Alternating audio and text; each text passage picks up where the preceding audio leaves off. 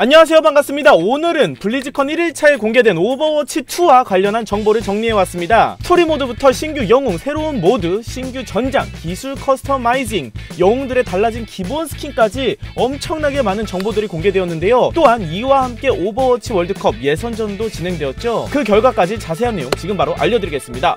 첫 번째, 공식 홈페이지에 나온 대로라면 기존의 오버워치와 오버워치2가 분리되지는 않을 것으로 보입니다. 다만 공식 홈페이지에서 기존의 오버워치 플레이어들은 오버워치 2 플레이어들과 함께 멀티플레이어 게임 모드를 즐길 수 있습니다. 라고 표현한 것으로 봐서 스토리 모드는 별도 구매해야 하는 방식의 확장팩 개념으로 나오지 않을까 싶은데요. 그렇다면 이 스토리 모드는 어떻게 나왔느냐? 레벨업을 통해서 스킬을 배우고 또 아이템을 이용해서 진행해 나가는 방식으로 나왔습니다. 아이템은 커다란 방벽 혹은 뭐 포탑과 같은 설치물들도 있다고 합니다. 다음으로 신규 영웅의 모습도 등장했는데요. 시네마틱을 통해 알 수 있는 소전의 등장 뿐만 아니라 스토리 모드를 진행하다 보면 비행선을 조종하는 에코의 모습까지 나오는 것으로 봐서 두 명의 영웅이 동시에 나올 가능성도 있을 것 같습니다. 에코는 날아다니는 힐러, 소전은 여자 둠피스트 여러분들이 생각하기에 이 두 영웅 어떻게 출시될 것 같나요? 세 번째로 새로운 모드인 푸시, 일명 밀기 모드가 나왔는데요. 이 밀기 모드는 전장 중앙에서 싸움을 통해 적팀을 몰아내고 옴닉에게 붙으면 그 옴닉 옴닉이 본인 진영의 화물을 밀어주는 방식으로 제한 시간 안에 누가 더 많이 미나 미나리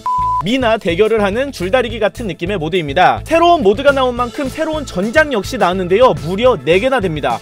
캐나다의 토론토, 스웨덴의 예테보리, 모나코의 몬테카를로, 브라질의 리우까지 네, 블리자드가 정말 많은 준비를 한 것 같은데요. 앞의 내용들보다 더 제가 관심 있게 본 한 가지 내용이 있습니다. 바로 기술 커스터마이징도 가능하게 됐다고 하는데요. 이는 기존의 오버워치 물리 엔진에서 갖고 있던 한계점들을 극복한 업그레이드 버전으로 보이는데 유저들이 만드는 워크샵에서도 충분히 활용될 수 있겠죠? 시네마틱에서 보면 겐지가 궁극기를 바람의 상처처럼 날리는 장면도 등장했었죠. 앞으로 오버워치 2에서 나올 신박한 워크샵들을 생각하면 유아가 재미있을 것 같아서 정말 기대가 되고 설레는데요. 오버워치 출시 이후 3년의 시간이 흐른 것을 보여주는 듯이 영웅들의 기본 스킨 변화도 있었습니다. 총 7개의 영웅들의 모습이 바뀌었는데요. 지금 화면에 보이던 7명의 영웅의 기본 스킨이 바뀌었습니다. 하나하나 살펴보도록 할게요. 먼저 루시우. 오버워치 1에서의 모습이 이랬다면 오버워치 2에서는 이렇게 바뀌었는데 음...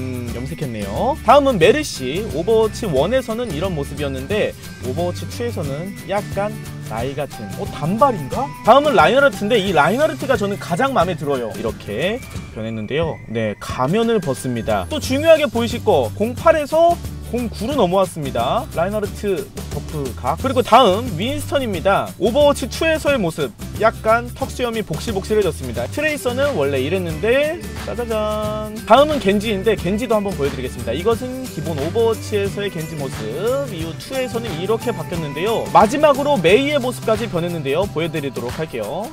뿅 남극에 있다가 와서 털을 조금 뺀 정도 느낌.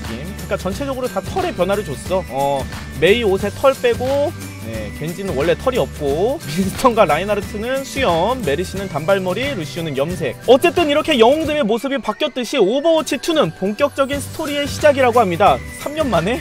3년 동안의 스토리 간략하게 요약해드리겠습니다. 옴닉부대가 등장해 인간들은 위협을 느끼고 이에 오버워치가 창설됩니다. 그 이후 블랙워치에 의해 오버워치는 몰락했습니다. 그런데 세상이 다시 한번 위협을 받자 윈스턴이 오버워치 요원들을 소집합니다. 3년 동안의 스토리 끝! 네, 한 수 만에 요약할 수 있는 3년간의 오버워치였고요. 오버워치2에서는 소집 이후의 이야기를 다룰 예정인데 이 정도 스토리 진행 속도면 게임 속의 영웅들과 같이 나이를 먹어갈 것 같습니다. 그쵸? 그런데 여기서 중요한 점 블리즈컨 1일차에 공개된 내용들은 일부에 불과하다고 합니다. 블리즈컨 2일차에서는 메인 스테이지에서 오버워치의 또 다른 발표가 있을 예정이라고 하는데요. 과연 어떤 비장의 무기를 준비해왔을지 기대가 되는데 아무래도 신규 영웅 소식 혹은 클랜 시스템? 여러분들은 무엇을 예상하시나요? 마지막으로 준비한 소식 오버워치 월드컵 예선전 1일차가 치러졌습니다. 총 4경기가 있었는데요. 1경기 영국에게 3대0의 완승 2경기 프랑스에게 2대1의 아쉬운 패배 3경기에선 스웨덴에게 3대0 완승 마지막으로 4경기 미국에게 아쉽게도 3대0 완패를 했습니다. 그래도 6강에는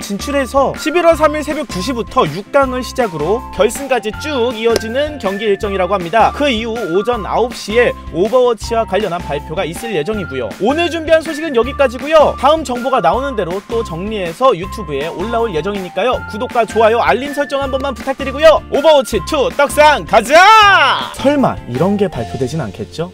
내 손 안에 오버워치. 오버워치 M